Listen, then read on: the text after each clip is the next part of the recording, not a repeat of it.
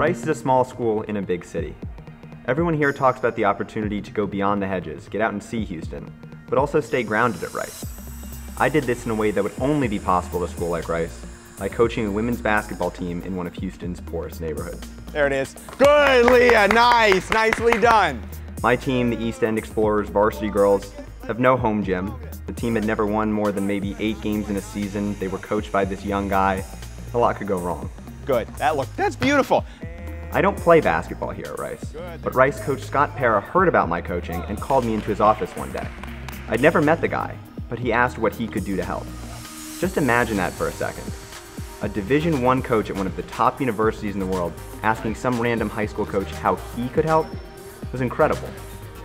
On many days during our season, I'd go to class, then to observe Rice's college practice, race in my car to the East End, and then run our practice with the same drills I'd just seen at Rice. For East End, our team, it was inspirational and it was transformational.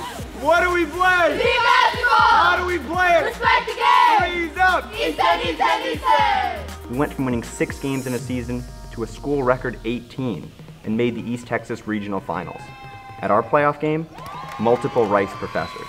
Not just professors, actually, department chairs from business and sport management were there to cheer on the Explorers. I'm like, how is he here while he's in college? It must be like really hard. Besides basketball, he's he's there to support for like scholarships and like what to do, what what not to do for for school. So that's a good thing for me as a senior. I uh, look up to him for.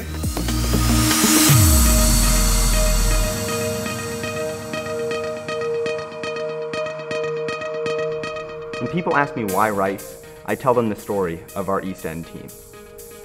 I'm tearing up just thinking about it. If you're a professor or you're a coach at Rice, you're at the top of your field. And still, these Rice professors and coaches came out and supported me and supported the team.